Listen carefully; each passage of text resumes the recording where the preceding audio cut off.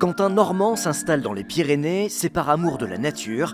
Quand un fils de charpentier décide de faire des skis en bois, c'est par amour de la tradition, mais surtout de la glisse.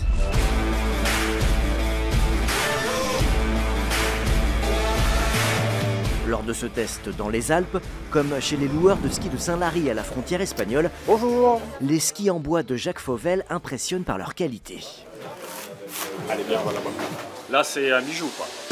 Le fait que ça soit fait au niveau local et pas pressé euh, dans, des pays de l'Est ou en Chine, et tout en bois, oui, oui, ça c'est sûr que ça, interpelle les gens et, et c'est une vraie valeur ajoutée.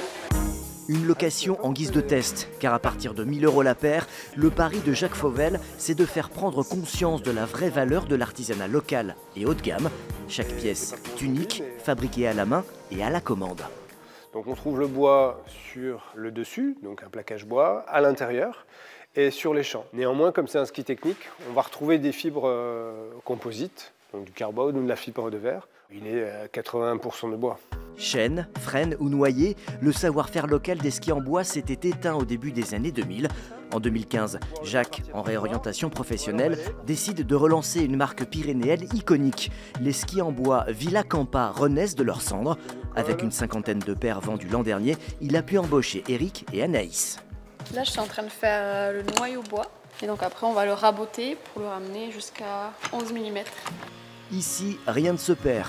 Les chutes de bois de frêne sont utilisées pour fabriquer des luges ou des skateboards, et on imagine déjà la suite avec ce prototype de vélo en bois, toujours dans une conscience de l'impact écologique. Quand on vend une paire de skis, en fait, on s'engage à replanter deux arbres participer à la biodiversité euh, sur le massif des Pyrénées. Les valeurs de cette marque de sport, ce n'est pas de finir premier, ce n'est pas la performance, ce ne sont pas les podiums. Donc il y a cette idée de partage.